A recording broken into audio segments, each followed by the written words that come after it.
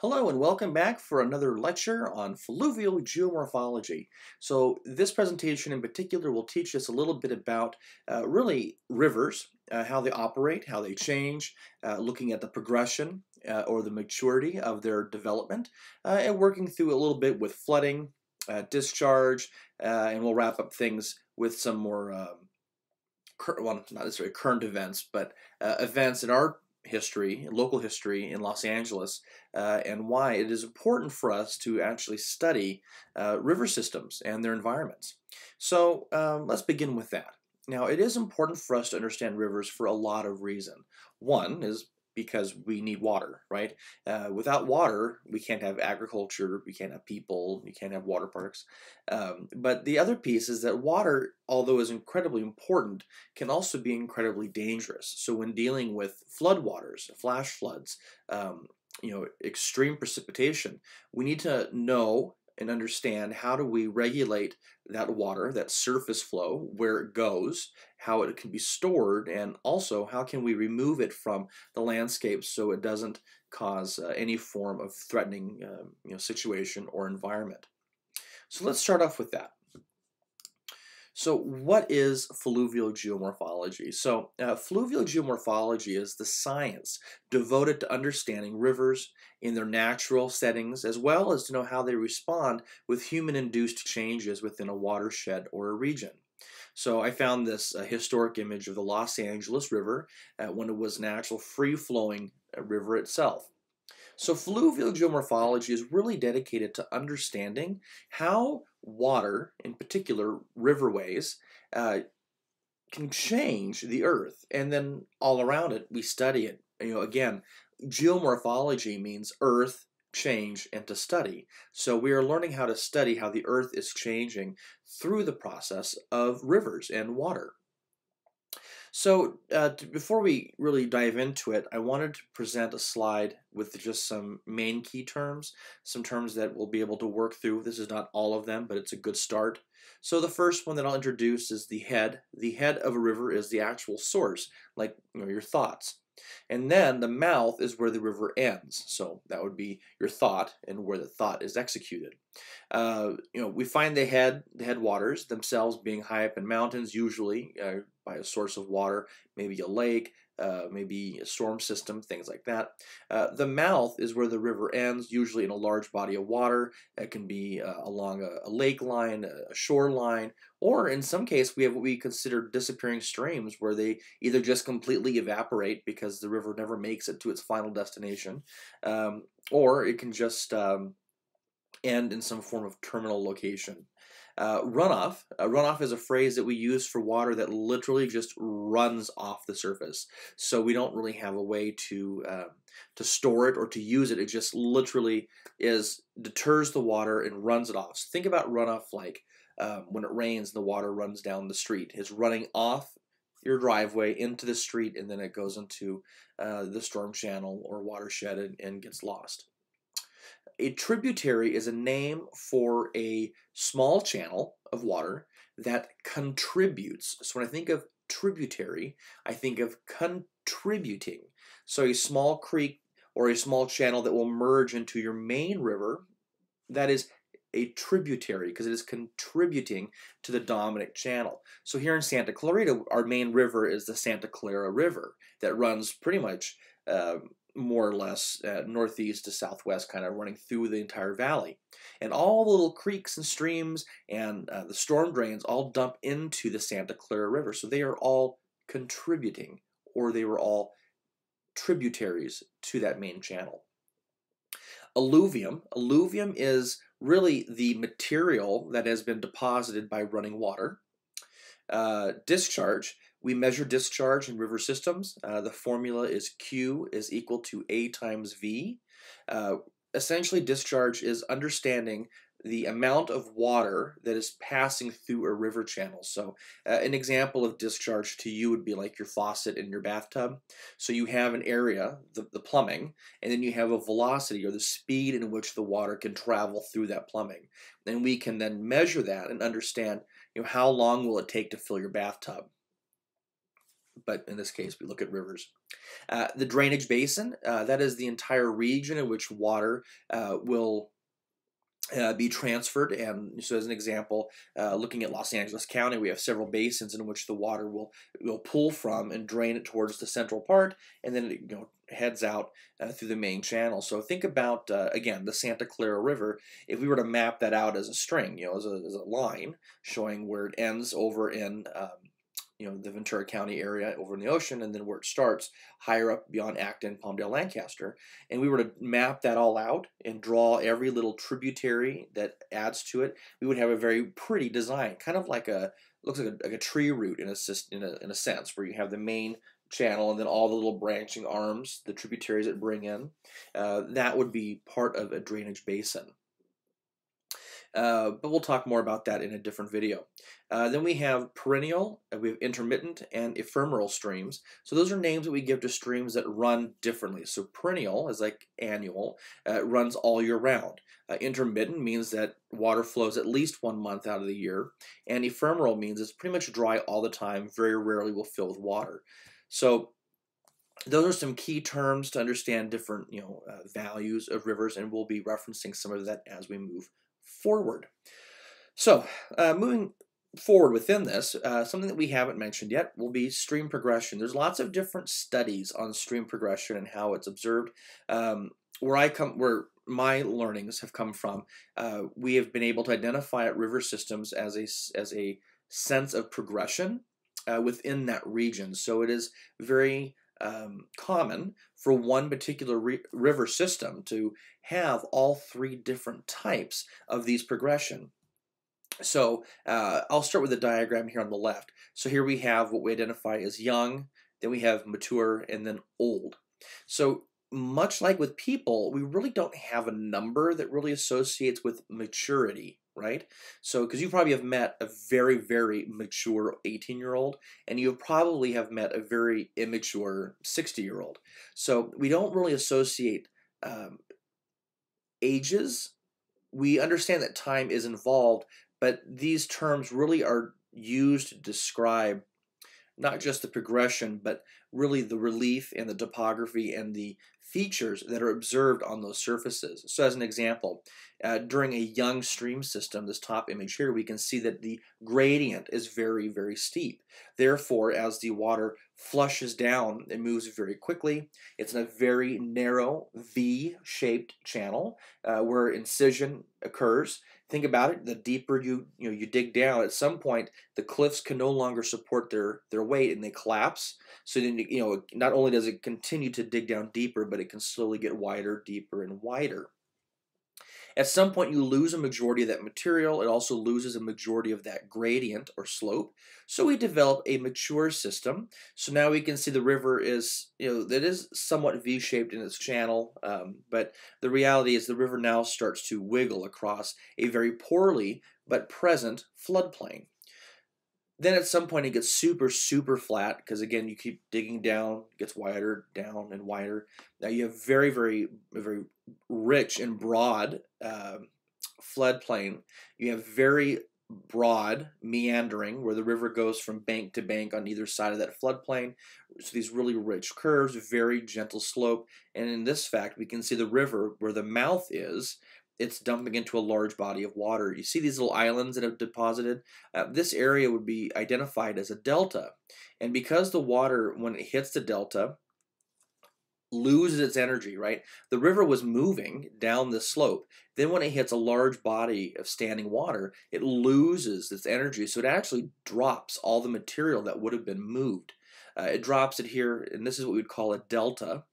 And in fact, when the river splits up throughout that delta. We call those distributaries because that main channel is now being distributed uh, into you know smaller regions. So it's kind of interesting.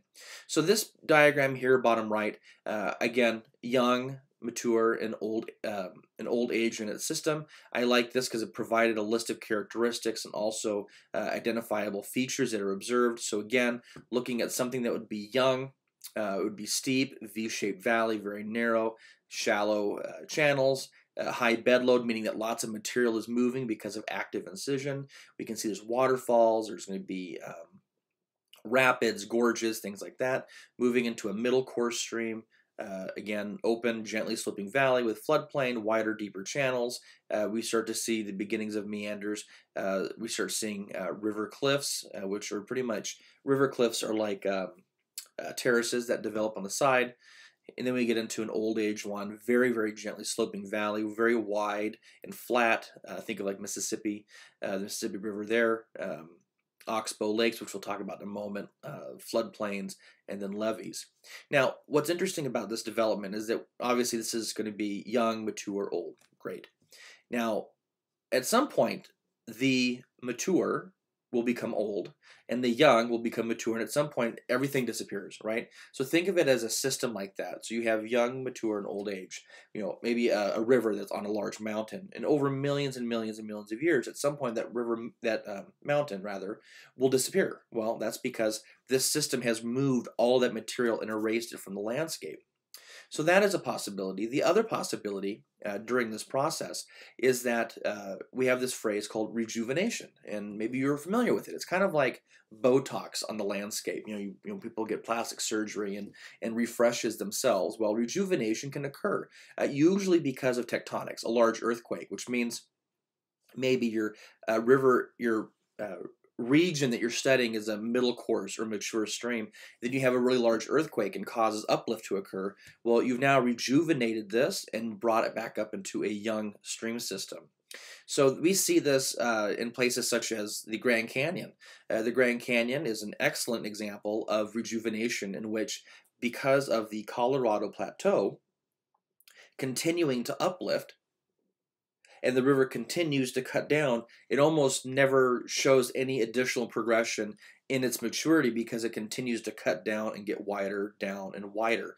And that is why, uh, if you've ever had the opportunity of going, that the Grand Canyon in some places can be as wide as 18 miles across and nearly 2 miles in depth because it continues to be rejuvenated. At some point, it will not, and when that ceases to exist, that rejuvenation, then the river itself will begin to transition again through middle and lower course systems. So, kind of fun facts. So, I mentioned some of these features that are seen here. Well, what do they look like? Well, some of the features can look like this. So why do rivers curve? So I have these three little uh, images we'll look through real quick. So the first one says erosion happens where the flow hits the side of the river flowing downstream. So in these this particular image here, the water is flowing to the bottom of your screen. As we can see, this is your river and here's your landscape. So if I hit play, we'll talk through it. These little white dots represent the energy or those water molecules. Notice how when a slight curve occurs, the energy hits on one side and gets thrown to the opposite side, that it bounces back and forth. So what could cause this to begin with? Any bit of disturbance, a rock, uh, uh, you know, a, a, tree falling over some from of vegetation, uh, maybe a little mudslide, something like that. It doesn't take a whole lot to redirect the whole piece. Now, what's interesting about this, and I'll talk about real quick, is that uh, this white arrow is really showing that energy stream, you know, where it's going. Think about when you're in your car and you're driving in a straight line and you make a sharp left-hand turn. Well, where does everything go in the back of your car? If you make that left-hand turn, those things kind of, you know, they maintain in their motion, but they get kind of thrown to the right. Well, that's what happens here. As the river is turning towards, you know, this direction, so following it be turning uh, to the left, look at how far the this white uh, line, the arrow, gets thrown to the right-hand side. So it gets thrown on opposite sides. Well, why is that important? Well, because over time, you'll create really big meanders like this. Now, sometimes meandering rivers close on themselves. Well, these meanders become so big that at some point they bump into one another, and then water will choose the path of least resistance, the shortest path, and essentially redraw its boundary. So we'll watch that again. You know, these meanders continue to get bigger and bigger and bigger. And then at some point, if they bump into one another, you have an abandoned channel. That's what we call an oxbow or oxbow lake. So I'll stop that. So this is a neat little cartoon. Uh, this is an animation showing uh, several uh, decades of a particular river system and watching it change. And why is this not playing? Okay. Well, Anyway, I'm going to move on. So what ends up happening is this is the current river system. It's flowing. Uh, at some point, as you can see these little shadowy lines here, this river continues to get broader and wider and wider. Something else I can point out in this image is that uh, understanding that the river is flowing you know, to the bottom lower right of your screen. This area here is an area of erosion because that water's you know making that sharp left-hand turn and that energy is getting thrown to the right. It's going to continue to erode. This material is taken from here, transported and deposited down here. That's why we have this area of erosion and deposition always across from one another. But we'll get to talk more about that in this diagram. So landscape development. So same thing. Uh, if I hit little play button, you can see the water is going from the top right to the bottom left. You notice that this black line uh, represents the flow and direction of water. So watch my uh, little um, cursor here. So if my cursor were to represent the fastest part of that stream, oh, the, the river's making a sharp left, so I'm going to get thrown all the way on the outside. I'm going to erode this material, take it down here, and deposit here. This is the area of low velocity, area of high velocity. So if you're a fish and you wanted to, you know, flush through this river system, you would stay where the black arrows are flowing because that's moving the fastest. If you want to just kind of sit around and relax, you would stay in these point bar areas. Now you see these dotted lines. These dotted lines show areas of deposition. So as this river continues to widen its meander, the material cut from the cut bank is brought down, oop, brought down to there.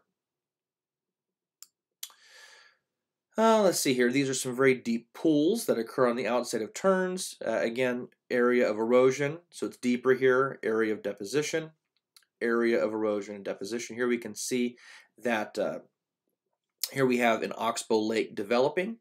Uh, because at some point this was so large that it ended up bumping into one another like we saw in the previous video. Here we have some, what they're calling the bluff line. So this, this area in between here would represent your floodplain labeled right there. Well, let's look more at understanding how we measure the amount of water that's being transferred. So the first thing we can look at is we'll look at the material that's being moved.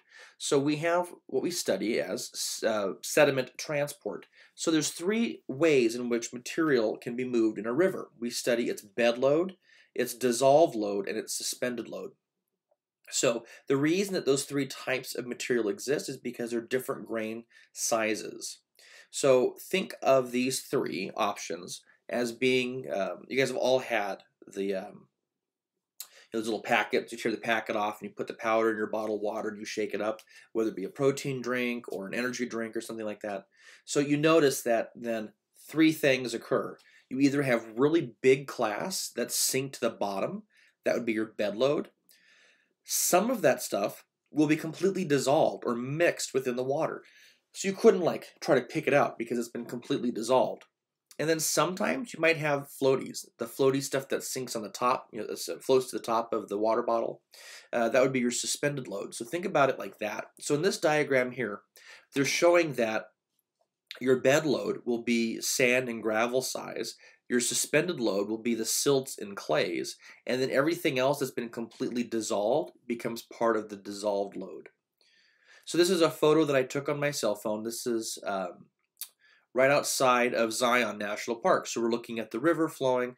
Uh, in this particular case, um, you know, following the direction in which the water is flowing, which is away from us, we can see that this water is not perfectly clear meaning that there must be some dissolved load within the water. We can also see that it's a little murky in the top, so there must be some um, suspended load. And then you can see these big rocks that are within the river itself. Well, that'd be part of your bed load. It doesn't move as much. What's interesting, though, is that the rocks, when they do slowly move over time, we find that they will become very rounded. So what's interesting about that idea is that when we start learning about other environments, we find that how the rocks are eroded or the material is eroded can be very different per environment. So we find that usually in river systems things are rounded or they're rollers. We're looking at a rolling pin because they've rolled down a river. We find that in a you know a beach environment, a coastal environment, because the waves splashing up and down on the beach face will make the rocks rounded but more disc shaped. So something to kind of think about in the back of your mind. So this is how we look at the material that's being moved. Well, what about the water? Well, that's a little more complicated. So what we do is what we call stream discharge. So we want to understand how much water is being moved in a river. Well, why is that important? Well, it's important because the more we understand, the more we can then store water for our consumption, or the more we can allow water to transfer to go to a different location, can go to turn into runoff and be in a safe environment. Here's a photo I took of, uh, of uh, Lake Sabrina in Bishop, California. This is drainage that is being regulated and measured out of a large reservoir. So the way that this is done is we need to first understand the cross-sectional area. So unfortunately, rivers are not all the same. They're not all squares, so we can't just do a normal, you know, understand its area of width times depth because that's assuming it's a square. So what we would do is we would actually subdivide this river system into smaller pieces and calculate the area and shape of each one of these subsections and then add it together to understand a cumulative understanding of the full area. So the first thing is we need to know the area. The area is width times depth. So we would take the width times depth of here, of here, of here, of here, of here, and then we would add it all up to understand a full geometric design of what that river looks like. Well, why are the bottoms of rivers never the same? Great question. Because water moves and moves material. It depends on where you are in the stream can actually deepen the river itself. So again, remember, if the river is flowing towards you, I'm the source, you're the mouth. And if it's going in a straight line, we find that the rivers usually create that nice, like a V shape, because the energy is focused in the middle. But like I mentioned, what if the river makes a sharp left-hand turn?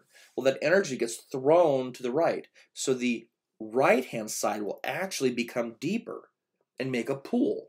So in this case, we can see it's deeper on this side, so this river must be slowly making a turn.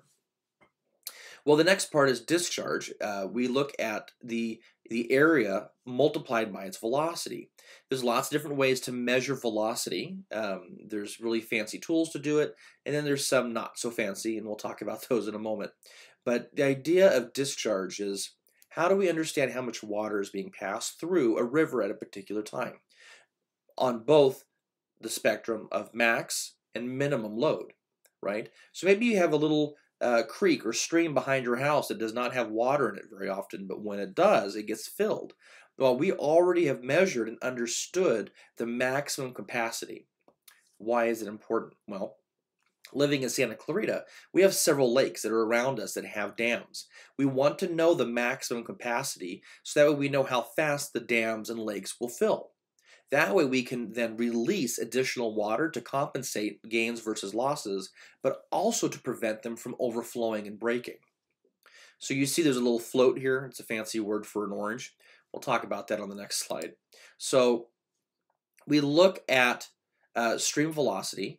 Um, what we do is the first thing I want to mention is the thalweg. The thalweg is the line of the lowest elevation. So this little cross here represents the thalweg. We often find that the thalweg is also in line with the fastest part of the stream.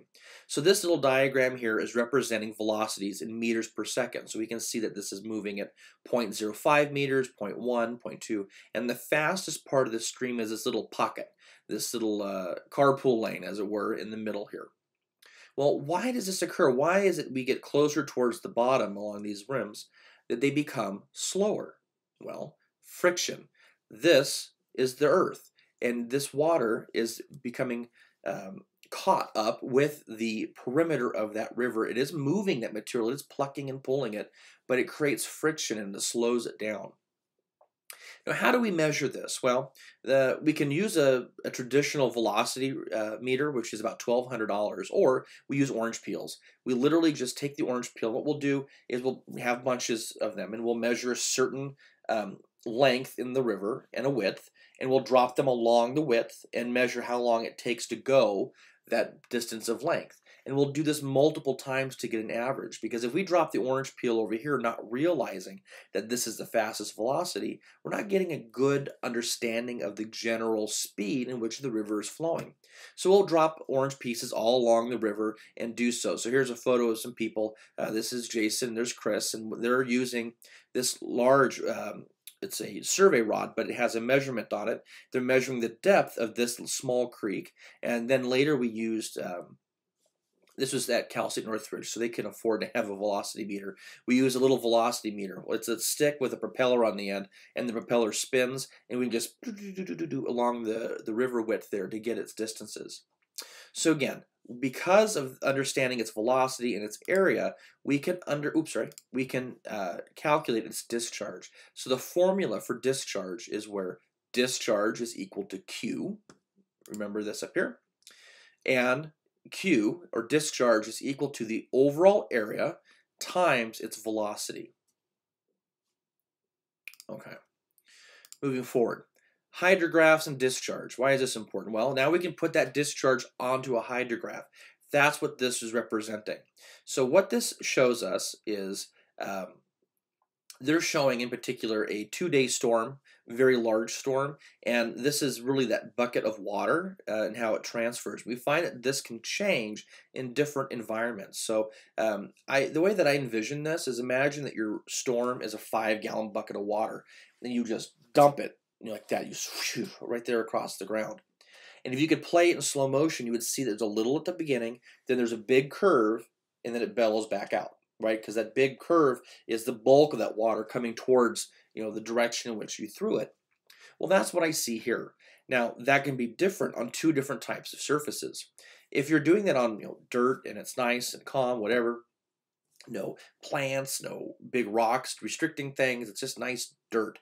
The dirt will absorb it, right? And so that, you know, the large curve starts to become absorbed and it actually gets spread farther out so it kind of does like a this type of thing. In this case, they're giving an example of how discharge would look in a large rainstorm in perhaps an area that has lots of concrete, maybe uh, in a city or a street, and you watch it all of a sudden because there's no friction, because the water can move quickly, nothing is being absorbed. It peaks really high, like a flash flood, and then comes back out. So that being said, the lag time here is the time in which the peak rainfall occurred to where the peak discharge is observed. Again, throwing that bucket and seeing that big curve in the water. That peak to peak is what that means. So why is this important? Well, because we can replicate this diagram in a system like this. Know, you're probably thinking it looks like a weird teardrop, but this replicates a drainage basin. So let's just assume that the central line here represents the Santa Clara River. And each one of these little tributaries is exactly what they are. So what they're saying is, well, if you are right here and you are only measuring the water from here to here, that is what your um, drainage would look like. The Q is discharge, the T is the time. Well, now we're doing down here. Well, notice that it looks a little bit different. Well, why is that? Well, you have increased your discharge because now you have one, two, three tributaries bringing water into this point. So that's something to keep in mind. Then you go down here, look at how much it's increased here and the time. Well, why is this much bigger? Because now you have one, two, three, four, five tributaries bringing in water. So think about it like this. If you wanted to play in a uh, in the most little amount of water, you would play up in here. If you want to play in a deeper pool system, you'd play down here. So they're showing what these will all look like. So over time. So this is kind of that idea. I usually explain this in class like as a road. So if you lived here, you only have one car for traffic. If you lived here, you would have three cars going up and down your street. And if you lived here, you'd have now five cars going up and down your street. So you have a lot more passing this point than you do places further up towards the source. So that's one way to look at it. Now this drainage basin is called a dendritic drainage basin because it looks like a dendrite or a root system. There are lots of different types of drainage basins. So as we can see, this is your classic dendritic. We can have a rectangular based on jointing. We have a trellis system where it's more uh, perpendicular to itself. Here's a radial, meaning that you have it radiates away from the center of a piece, so like a volcano. And this would represent a parallel uh, drainage basin. So what's interesting about the drainage basins is that water goes downhill, right? But what the design will reflect the overlying topography. So looking at places like a volcano versus places that show um, more of a faulting jointed zone, looking at perhaps um, like the foothills or sides of large mountains, you'll be able to see differences. But this dendritic is the most common out of all drainage basin styles. All right, so we've covered a lot. Uh, I just want to kind of end on the note of putting this into perspective. I've got just a couple more slides. So Something that's interesting to talk about is the Los Angeles River. So you know it as the big concrete channel, but it didn't always look like that. Uh, you know, in fact, going back to our first slide, I introduced this as being the Los Angeles River. So look at this very rich riparian or uh, river vegetation. There's dirt. Uh, you know, what ends up happening in this situation is that when you have a normal river, you have there's people out there. Um, you have all of this vegetation and all these rocks and all this debris that creates friction in moving the velocity or the um, the strength and speed of a river. Well, in 1938, Los Angeles had an incredible rain. Two very large storms occurred. In fact, the largest of them because of orographic lifting, meaning the clouds were forced up uh, in altitude along the San Gabriel Mountains, which means that therefore by lifting it up, it gets colder, condensing, and then it just really just rang out all the moisture in those clouds. Uh, it rained a tremendous amount in 1938. In doing so, uh, as a result of the overlying topography, which was pretty much due to clay soils and very dry to begin with. Water was not absorbed, so you had what we considered aggressive runoff or flash flooding. So some areas received 32 inches of rain in about 15 hours. Uh, damage was seen uh, all in all of LA County, uh, also Orange County and Riverside. In fact, some places of Orange County and Riverside in 1938 had over six feet of standing water because it didn't, it wasn't able to drain anywhere and ooh, 7,000. Over 7,000 structures and over $40 million of damage was done then, and by today's value, about $627 million. So here we have um, this is the uh, Southern Pacific Railroad. That bridge got knocked out. The, free, the five freeways down here right now in today's standard. Uh, this is a great photo. If you've ever been over in Malibu, this gas station is still there. This is PCH.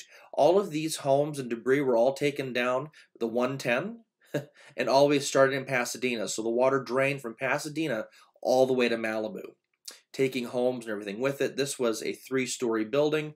Uh, as you can see, it's now one and a half. It collapsed on itself. This was incredibly uh, devastating. Here's some additional photos of people at that time. Um, here we can see that near the bridge. Actually, that bridge is still there in downtown. Um, seeing all of this damage was and and knowing that over 110 people had uh, passed, uh, they decided that the best thing to do is to then put a concrete channel in the LA River because what ended up happening is there was so much rain that the water wasn't in, was not able to move fast enough, so it overflowed. And had done it a couple other times, but this was the worst. It's one of the worst rains that we've had. So what they did is they put a concrete channel in. Why? Well, by putting a concrete channel in, you regulate uh, velocity because there's no um, restriction or there's no um, pushback on the material and the water that is in motion. Um, and it was to prevent any additional floods of this kind. So it, again, the LA River received a lot of precipitation in the 70s, another one in the 90s, and also one in the early 2000s. Now, just a couple years ago, they voted to remove the concrete channel because by having a concrete channel, you're not allowing for water to be absorbed into the earth, and that actually really restricts the water table and the areas in which water can be stored under the surface. So they decided to remove it, but most of those people at those committees did not bring up the fact that the reason why it was even there was because of this. Uh, to kind of put it in perspective of a video, I found this really neat video showing uh, the aftermath, the day after. These are people's uh, 8 millimeter uh, handheld cameras that they filmed. So they're showing all the different houses. These are all areas in LA. Uh, some of these photos were taken from Sunland Tujunga. Some were taken in Malibu and downtown LA. That's the one of Malibu right there. So looking at all of this water that had to be displaced. So it was really uh, quite tragic. There's some great documentaries on it. I highly suggest it if this is something that interests you to see. But it's important because of this, we then learned through the help with the Army Corps of Engineers how to design um, the geometry of a concrete channel to prevent this type of flooding situation to occur. Uh, they identified that this is being a 50 year flood, which means if this happened in 38, 30, 40, 50, 60, 70, so it happened, there's one that happened in the late 70s, would have been 80, 90, 2000, 10, 20. So we're actually looking at another large rain system of this magnitude within the next 10 years. All right, we covered a lot. To kind of recap, we introduced, uh, again, uh, the geometry, the discharge, a couple of the landscape and landforms. We also introduced why rivers curve. There's lots of additional resources on Canvas. Make sure you utilize that. But I hope that this was at least somewhat helpful in understanding really why it is important that we study river systems as a whole, not just for our use, but for our safety. That being said, thank you very much, and we'll talk soon.